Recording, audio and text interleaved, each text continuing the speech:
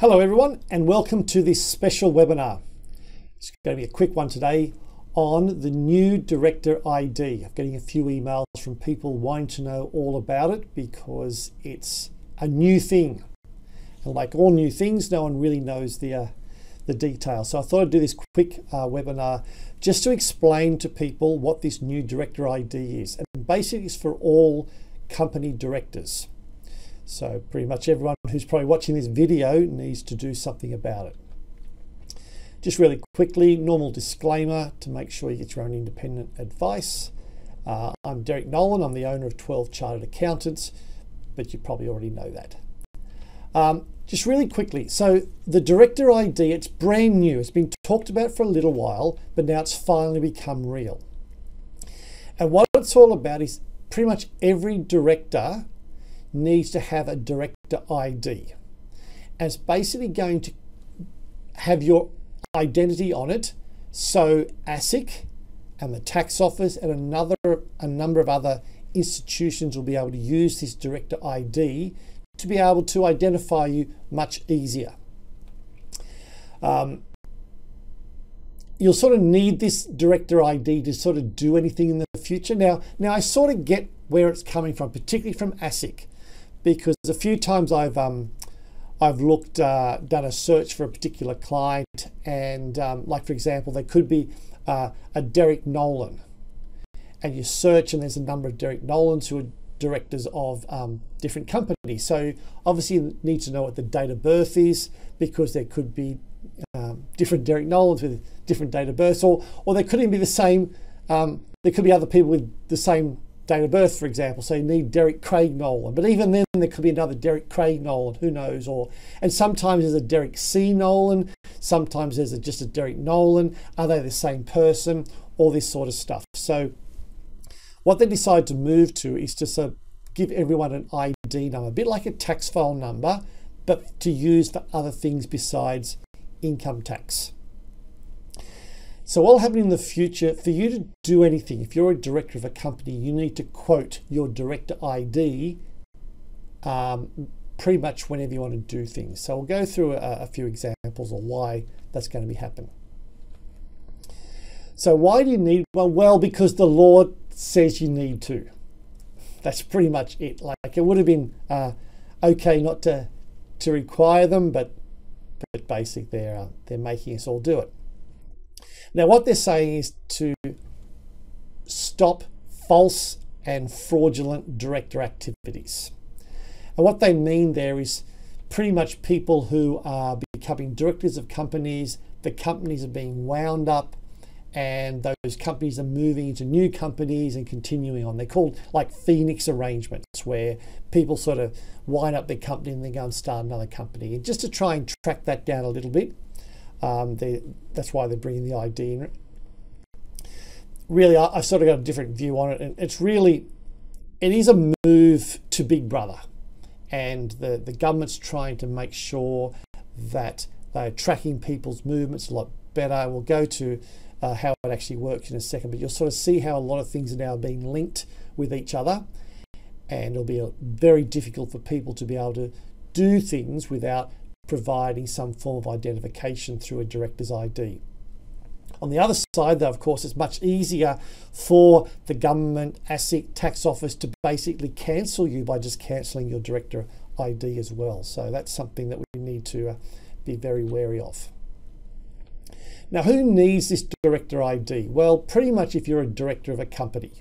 There's also an Australian, a registered Australian body, not few of those, um, and some foreign companies. But pretty much if you're a director of a normal run-of-the-mill company, now that could be a company which is a, um, uh, a trustee of a superannuation fund, trustee of a family trust, pretty much any company that's registered with ASIC and you're a director of it, you will need to get an ID. Now, the downside is that you're going to have to do it yourself. Um, unfortunately, I'd love to be able to help people, but I can't. So everyone who's watching this and they're a director of a company, they need to go and set up their own director ID themselves. And this is this to be a little bit annoying sometimes, particularly when there's a few companies out there that's got two directors, you know, husband and wife type arrangements, and and um, you need to go and do it for both. That's just the way it is. Now, you don't need a director if you're just a company secretary. Mind you, a lot of my clients, because every company needs to have a company secretary, usually the director is also the company secretary as well. Now, obviously, you don't need to be uh, have a director ID if you don't have a company. If you're just running your business as a sole trader or a partnership, um, even if you're running through a trust and the, you're the trustee of the trust, not a company. Um, the other thing too, if you you might call yourself a director, but you're not actually a real director under the Corporations Act. You might just be a, a title of um, of your employment, um, or if you're an, a director of an unincorporated association, for example, a sporting organisation, or the school P&C or something like that. A lot of those are not required, even though you may be have your official title as a director. Now, this is not to be confused uh, for a shareholder. Because with ASIC, when you set up a company, there's pretty much three things you need to do. One's a director, one's a secretary, and the other one you need to have a shareholder. There's a lot of people out there who are watching this who are only director, uh, only shareholders or only directors. Most people are probably both, but just to make sure that if you're only a shareholder, you won't require a director ID. All right, so this is the important thing is when do you need to apply? I'm getting number of clients now who are getting emails um, from their lawyers and from other people saying you need to get a director's ID. So, so this is the important dates. So if you're already a director, and you're probably, because you're watching this, uh, already a director. So the key date when this came in was the 31st of October 2021. So if you're a director already before that date, you don't have to get an ID until the 30th of November 2022. So about a year you've got to, um, to get your director ID. So that's great. However, if you become a director between the 1st of November and the 4th of April, you need to go and get your director ID within 28 days of your appointment. So this is even if you are a director of a company already, you go and become a director of another company. Normally when you set up a brand new company or you go and buy a company or for some other reason.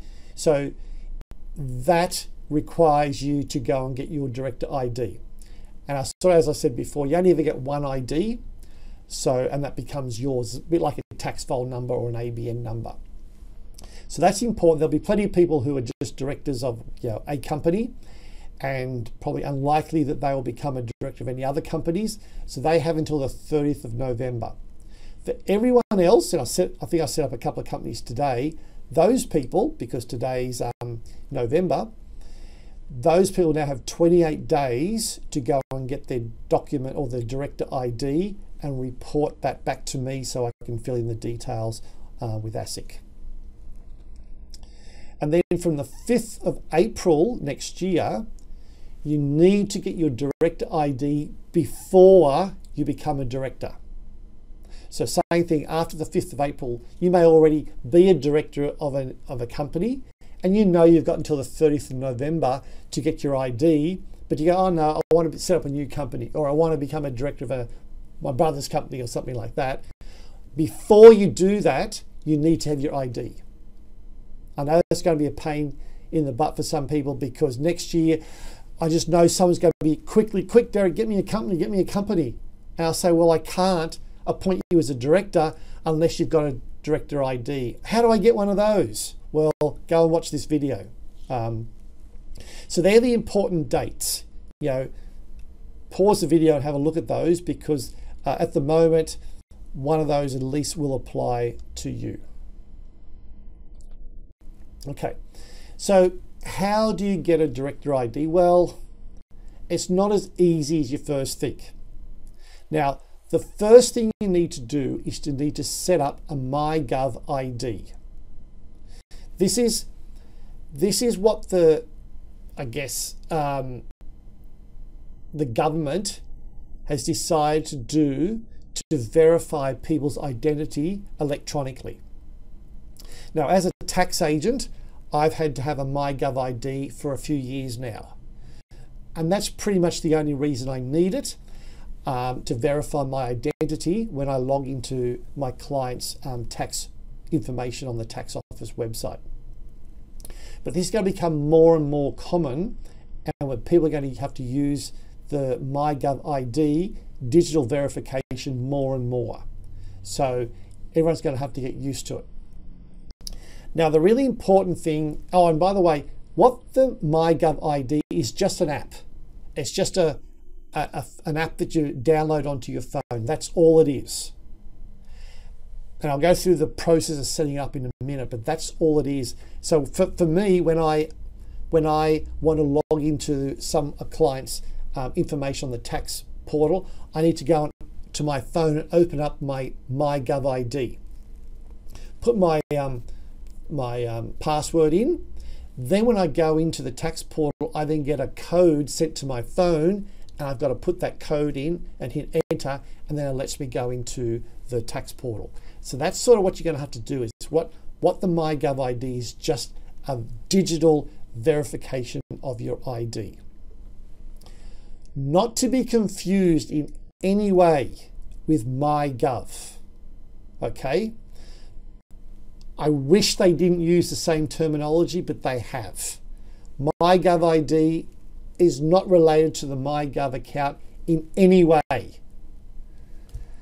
If you get nothing else from this webinar, that's what you got to get out of it. Don't, because a lot of people I've always said to, oh, you need to set up a MyGov ID. And I go, yep, I've already got a MyGov account. I went, no, it's a MyGov ID account. Yep, Derek, that's the one. That's the one I've got. So it's not. So, because what the MyGov is, that's an account. It's a it's a web page. You go in there and you put all your details, and it's linked to Centrelink and a few other things like that. Nothing to do with the MyGov ID. All the MyGov ID is just an identity verification process. That's all it is. So what you need to do is you need to go to www.mygovid.gov.au forward slash setup. You go there and you basically go through the process of setting up your, um, your MyGov ID. Now, when you go there, they ask some basic questions name, rank, and serial number. And depending on the information then you give them, it gives you a different standard of identity.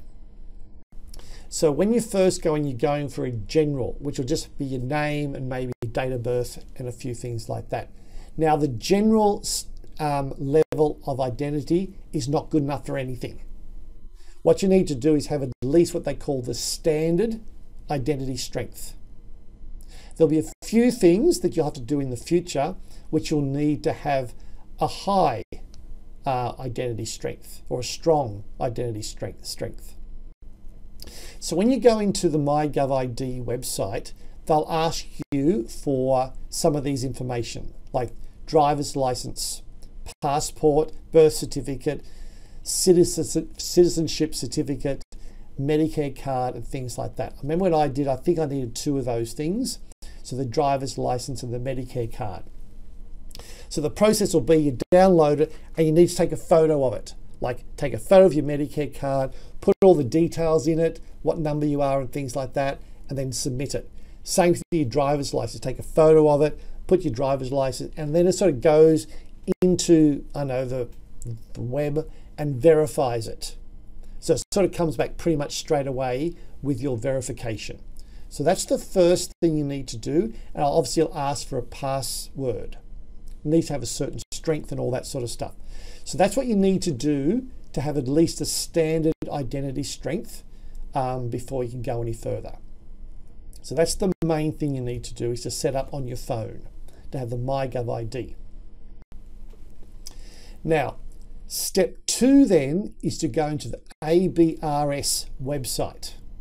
I think it's just www.abrs.gov.au. Um, and on there, and you've probably never been there before, I've never been there before, it's pretty much going to be identity place for all government bodies where and it's going to be a shared information it's again it's it's australia's clearly moving down the path of I'm not going to say a communist society, but but it's something that's not looking that it's uh, as free as you think. Um, because this information is going to be available to pretty much any government agency, particularly when you realise coinciding with the single touch payroll phase two, which is coming in in January, there's going to be a lot of information being shared amongst different government organisations. So this is the start of it, unfortunately. Anyhow, so the next thing is you need to go into the ABRS website and click on apply now. I think it comes up as uh, director ID, apply now. And once you do that, you put your, your details in, and of course, you need to then get a verification code back on your phone. So that's when you go, all right, yeah, put your details in. You'll get something on your phone, you put your password in, and you get a password, and you click it, and it allows you to go further. That's what the ID is all about. The government ID is not going to get you your director ID. Know, it's got ID in it. I know it's very confusing. You need to go to the ABRS website to get your director ID. You're just using the MyGov ID as a verification method. And as you'll find, as years go by, you'll be using this more and more and more. Actually, anyone who um, who is running a business now and has access to their own business portal is probably using the MyGov ID already.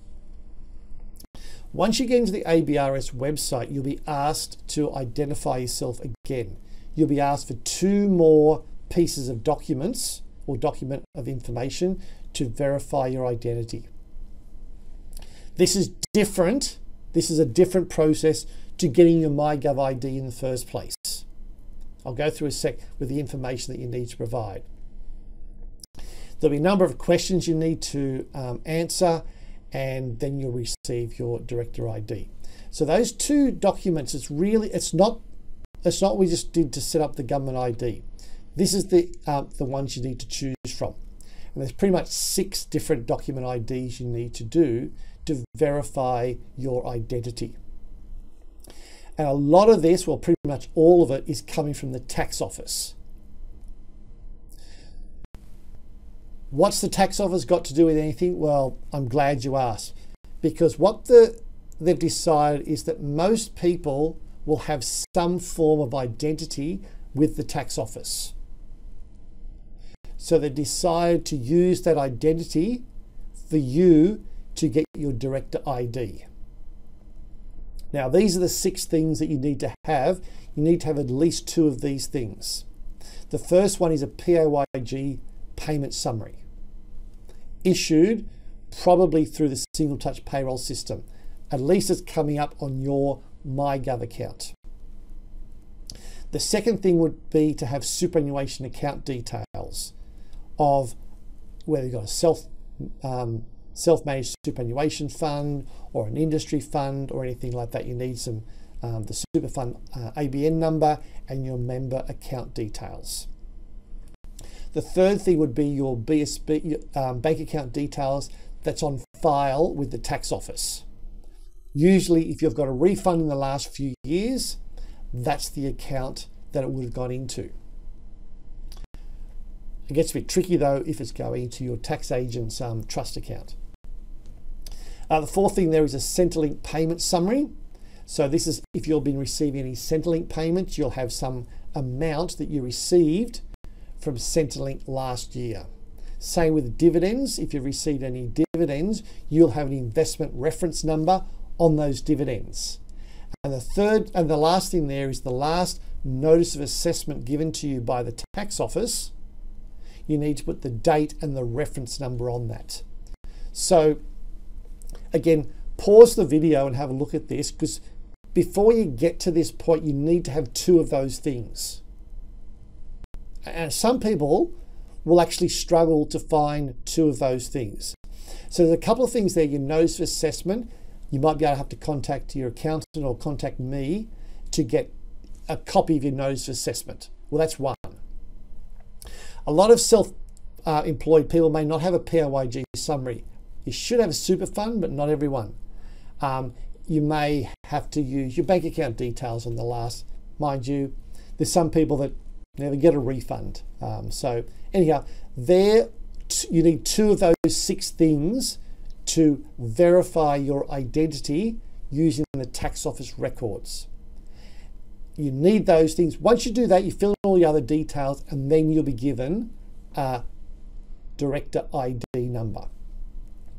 So this is the way it's all working. You've got the ABRS, which is administering the whole data collection and the verification process. You've got the MyGov ID, which is the digital online verification process, which you need to have on your phone as an app. You need to have access, and I think your MyGov ID, you need to link that to the tax office to be able to get the information that is required to get the, docu- the director ID. And of course, the ASIC is there to use this information and enforce the rules to make sure that everyone's doing it um, when they need to. So the ABRS, the Australian Business Registry Service, didn't know much about it until now. I think everyone who's a director of a company, um, dealing with a tax office, dealing with Medicare, dealing with Centrelink, dealing with anyone pretty much is going to know a fair bit more about it. So it's just a, a word of warning. So anyhow, good luck with everyone trying to get their uh, director ID. Remember, those dates are really important. So I've got a few people like literally today set up a company. Now they've got 28 days to get their document, uh, their director ID um, to report that back to ASIC. I don't know what will happen um, if you don't. They are saying there'll be civil and um, criminal penalties applied. The, the, ASIC and the tax office may um, may issue infringement notices. There could be suspension of your accounts. And this is what I'm worried about is that everything's now linking like into a into a MyGov ID account, which can be switched off, or your uh, doc director ID will be turned off, or or your, your tax file number or your ABN can be turned off or anything like that. So anyhow, it's pretty important that you uh, make sure you do all this and um, make sure you get it, particularly after the 5th of April next year when you need to have it before you go and become a director of a company. All right, well, hopefully that made it a little bit clearer and um, hopefully there's no problems getting your, um, getting your, your director ID. Uh, so make sure you check out all my other videos, of course. There's always ones up popping up there all the day and what they say you know smash the the like button and all that sort of stuff that the cool kids are saying so. All right well, thanks very much for um, for watching. Um, thank you very much and uh, goodbye for now